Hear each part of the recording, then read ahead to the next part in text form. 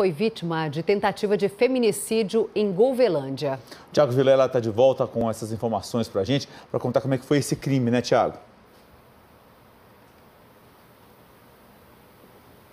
Oi, Anderson. Pois é, um crime que chamou a atenção da polícia, porque quando a PM ficou sabendo é, dessa situação, a mulher já estava no hospital.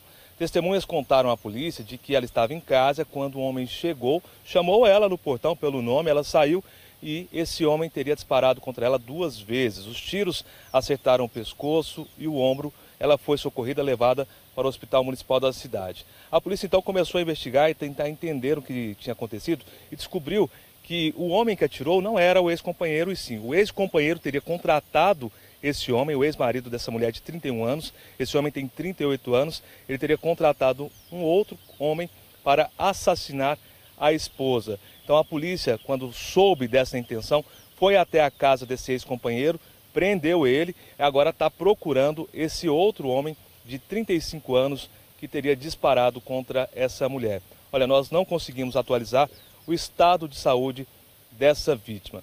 Olha, o que chama a atenção é que nos últimos dias a PM, a Polícia Civil, tem registrado muitos casos de, de, de violência contra a mulher. Só aqui em Rio Verde, em 24 horas, foram quatro casos. Em um deles, uma mulher foi mantida por, quatro, quatro, por quase quatro horas presa sob ameaça do companheiro. Vamos ver na reportagem.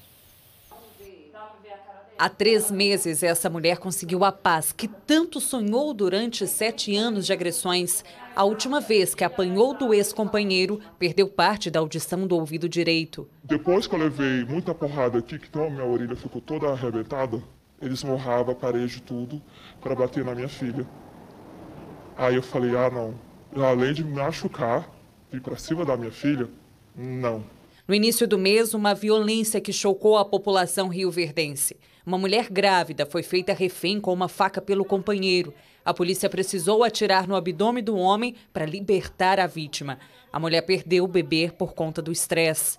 Muitas das vezes, as mulheres vítimas de violência vivem aprisionadas nas próprias casas e sofrem as variadas agressões físicas e psicológicas. Mas só a denúncia é capaz de mudar esse cenário. Aqui em Rio Verde, a patrulha Maria da Penha chegou há dois meses e acompanha de perto as mulheres que conseguem fazer a denúncia e que têm medidas protetivas contra os agressores. A medida ela ampara a mulher, o agressor só de receber a medida no telefone, ele já está notificado que foi aberto um processo, ele já, já afasta da vítima. Durante a semana, a patrulha recebe em média cinco denúncias, mas no fim de semana esse número dobra. Só nesse domingo foram cinco ocorrências registradas na Delegacia da Mulher. Três homens foram presos em flagrante. Durante todo o mês foram 19 prisões em flagrante, mais da metade do que foi registrado no mesmo período do ano passado, quando o número foi 29. Eu acredito que o número é variável. As mulheres já tinham sido vítimas outras vezes, mas não haviam ainda denunciado. Esse ano, três mulheres perderam as vidas nas mãos de agressores. No ano passado, foram duas vítimas de feminicídio.